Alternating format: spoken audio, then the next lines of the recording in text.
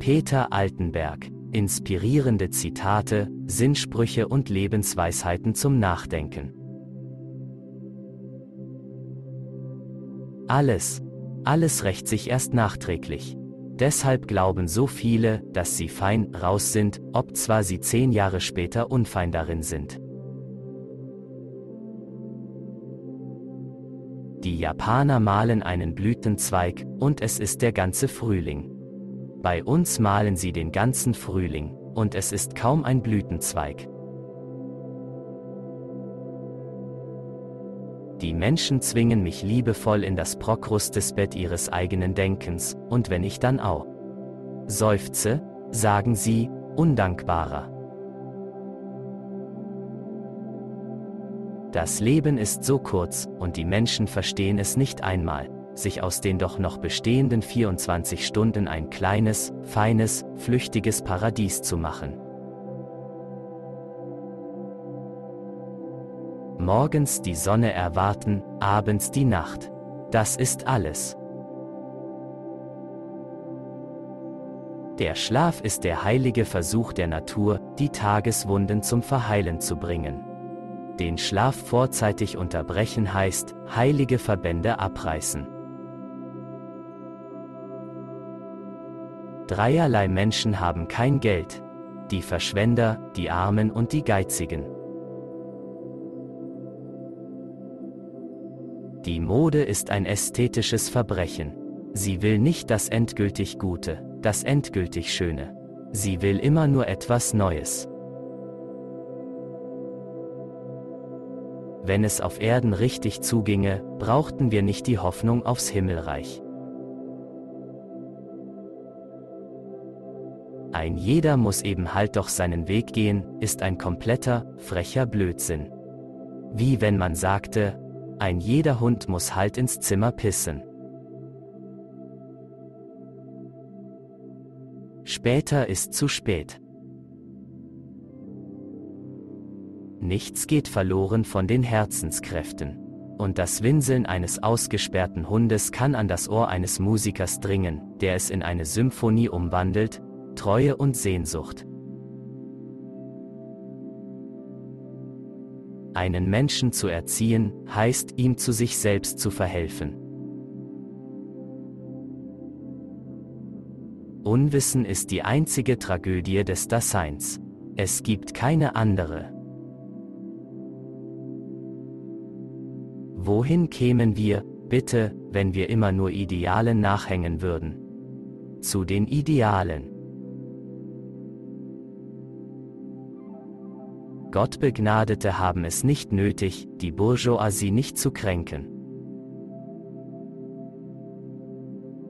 Sei, der du bist, nicht mehr, nicht weniger, aber der sei. Und ein jeder, ein jeder deckt Irrtümer auf, Zeit seines Wandelns.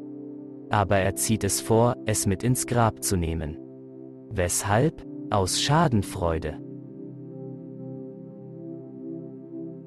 Sport macht aus der romantischen Natur eine Zirkusmanege.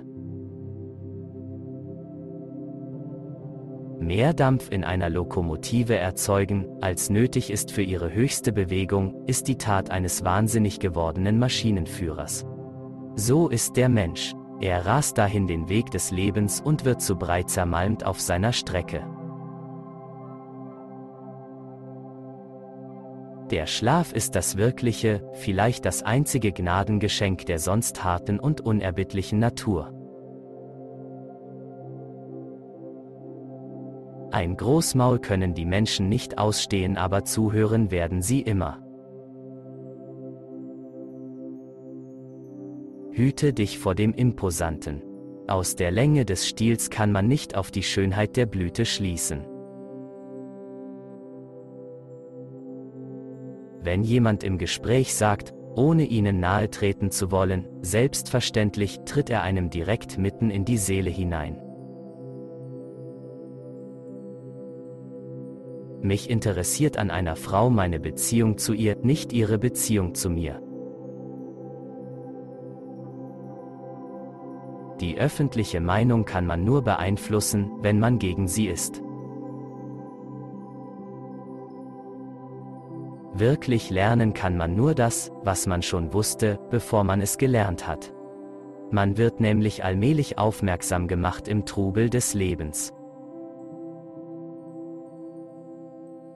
Im Titel liegt das, was man gewollt hat.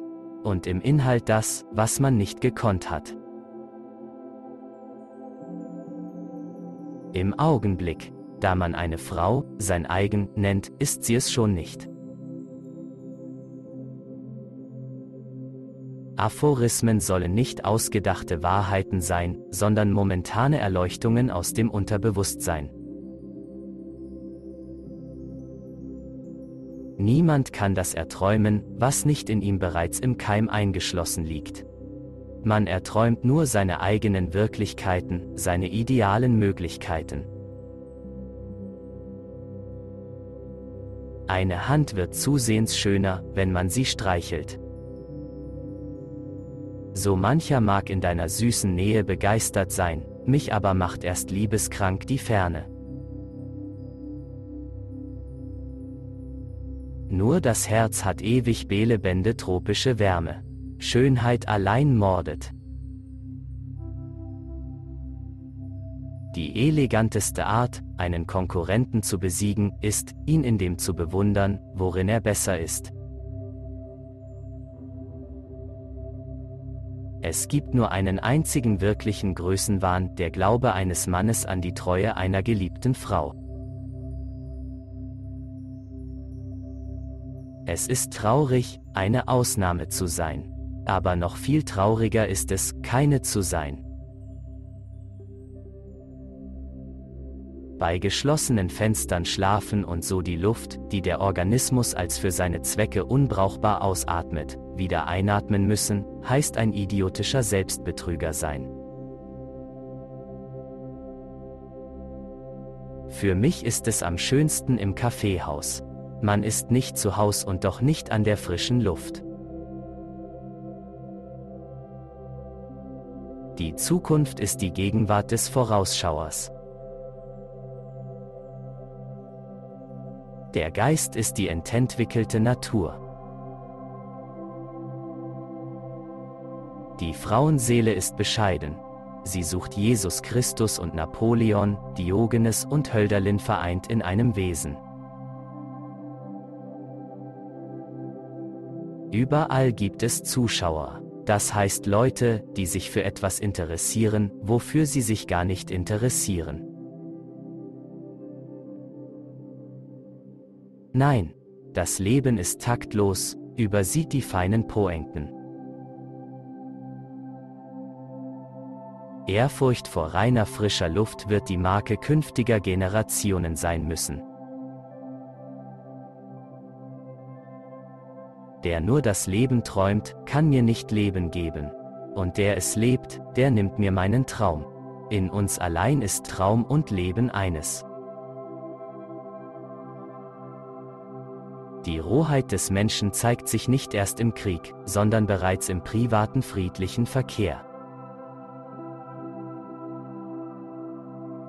Die geschickteste Art, einen Konkurrenten zu besiegen, ist, ihn in dem zu bewundern, worin er besser ist.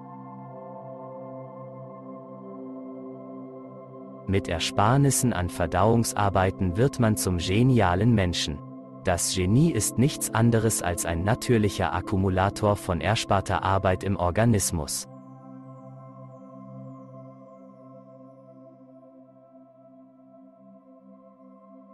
Welches Zitat hat euch am besten gefallen? Wir warten auf Ihre Antwort in den Kommentaren. Abonnieren Sie unseren Kanal und achten Sie auf die Klingel, damit Sie das nächste Video nicht verpassen. Vielen Dank fürs Zuschauen.